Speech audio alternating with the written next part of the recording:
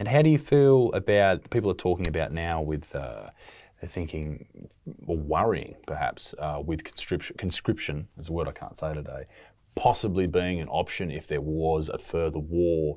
Do you think we have, or the youth of today could handle such a?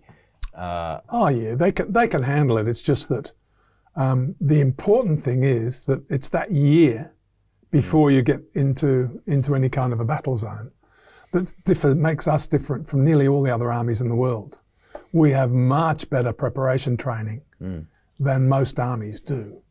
Um, you know, um, the other thing is that we train everybody as an infantry soldier to start with. Mm. Partial training, anyway. Mm. Partial training, everybody goes through Kapooka to start with. And that means that the, the regime of doing, doing things correctly, um, doing things in drills, doing things um, in, a, in a, a clearly articulated way, all the rest of it is, is drummed into you long before you go anywhere near a battlefield. Do you think that's helpful for a young person? A lot of people talk about national service should be, uh, you know, they, they should be forced upon young people. Look, I don't. Um, the military is so different these days. I mean,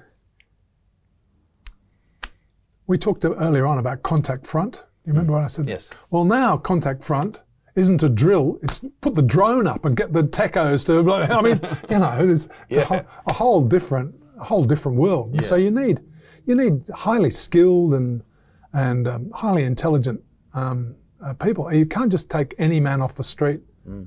as you used to be able to and train them in 12 weeks or whatever it mm. is. You, you now, they're all, they're all highly skilled.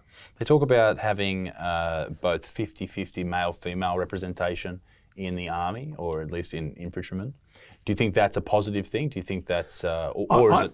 I don't have a problem with it so long as it's based on capability and not on gender balance or something. I, I, have no problem at all with that. Yeah. I, I, I was in, in the uh, officer training unit here at Wacol, and one of those young women, she was quite short and quite tubby kind of look about her. She was the most warlike person I've ever met. She threw herself behind trees and yelled and screamed and charged with a bayonet and all. I mean, I'd love to have her on my side yeah. in a battle, you know. So I'm not, I'm not fussed hmm. about what gender you are. I'm fussed about how good you are at it. Of course, and I, I, think that's for most people that is their their take on that subject. Yeah. The, the, media seems to beat that up as you know we will take absolutely anyone, but I think you know no. when it comes down to brass tacks, the vast majority of females that would be involved in any defence force personnel would be the best, the best of the best, the best available.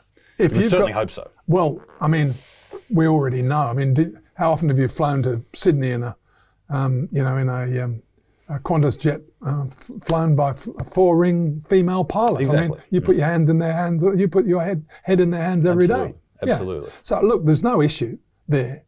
The problem I've got is when you say, "Oh, we've got to we've got to have a 30-man platoon now. We'll have to have fifth, have to 30.